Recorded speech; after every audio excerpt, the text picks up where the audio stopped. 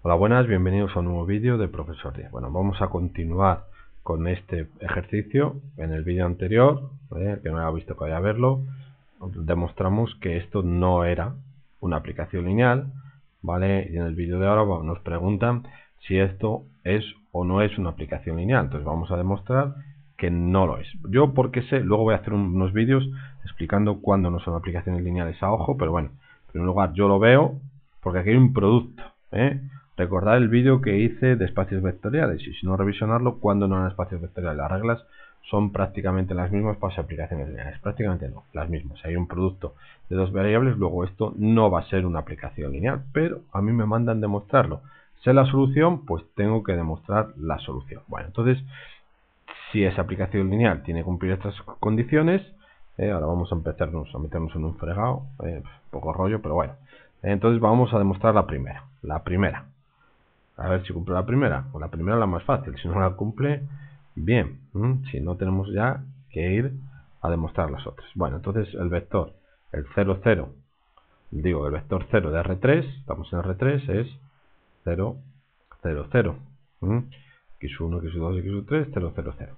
Es igual a 0 por 0, queda 0, x3, que es 0, y 0. Luego la primera condición, si la cumple. ¿Vale? Entonces, ok aquí.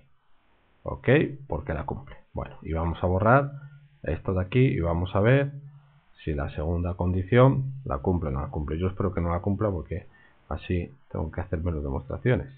Eh, la segunda. La segunda es que f de us1 más us2 es igual a f de us1 más f de us2. Bueno, entonces voy a definir aquí los vectores us1, que son vectores, deberían llevar una flechita o una rayita por encima, como preferáis. ¿Quién es us1? Pues us1 lo voy a llamar x1, x2 y x3.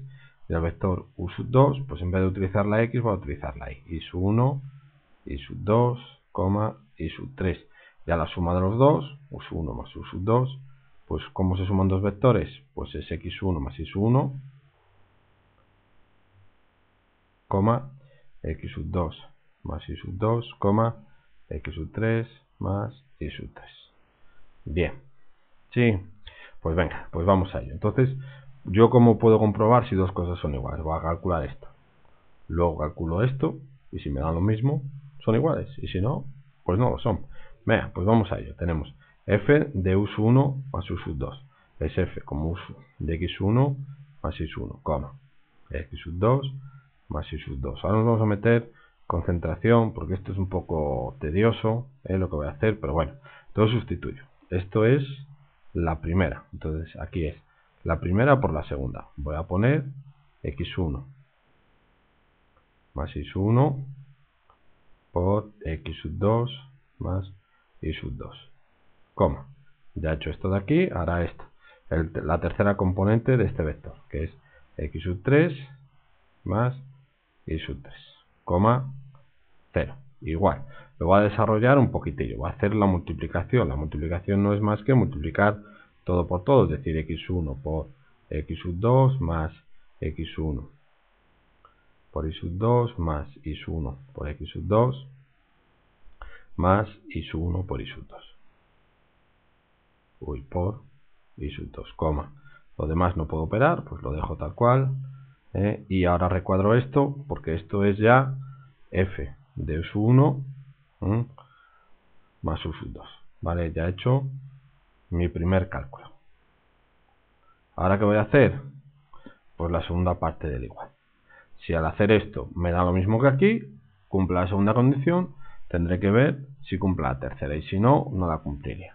Bien pues vamos a ver si cumple o no cumple. Vamos a hacer f de us1 más f de sub 2. f de 1 es f de x1, x 2, x 3 más f de x1, x2, x3. Y eso es igual, igual. f de x1 es eso de ahí, simplemente x1 por eh, x2, x3, 0. Más, y esta de aquí, pues es lo mismo que ahí, pero en vez de poner x, como he llamado i a las variables, pongo i. ¿Vale? Y ahora sumo estos dos vectores. ¿Cómo se suman dos vectores? Pues esta componente con esta componente, esta con esta, ¿vale? Y esa con esa, no la dificultad. Entonces tenemos x1 por x2 más x1 por eh, y2, coma, eh, x3 más y3 y 0 más 0 da 0. Bueno, pues ya hemos terminado, ya hemos calculado la otra parte que teníamos que calcular. Esto de aquí, la segunda parte. ¿Vale? Ya nos preguntamos, ¿esto y esto son iguales? Pues vemos a ojo que esto y esto son diferentes, porque esta componente es la misma, es cierto, esta componente es la misma, pero, eso, pero esta, la primera componente del vector, del vector imagen, es diferente. Luego, no son iguales. Como no son iguales, no es una aplicación lineal que nosotros, eh, pícaros a nosotros, ya lo sabíamos desde el principio. Vale, bien. Bueno, yo a veces la he hecho con la 2 porque se suele seguir este orden, pero bueno, yo es cierto que cuando sé que no es una aplicación lineal, no lo voy a hacer. Eh, casi prefiero empezar por la 3, que es más fácil. Esta es la más complicada de entonces, como la 3 muchas veces tampoco me dice que no lo es, pues claro, prefiero saltarme el 2, hacer 1, 3, 2, pero bueno, eso a gustos, ¿eh? A veces también corremos el peligro de hacer la 1, la 3 y luego la 2 comérnosla. Así que ojo. Bueno, pues venga. Nos vemos en el siguiente vídeo donde voy a hacer una demostración que espero, ¿eh? la voy a inventar, así que creo que la va a hacer bien. Así que va, sí va a ser una aplicación. Venga, nos vemos en el siguiente vídeo.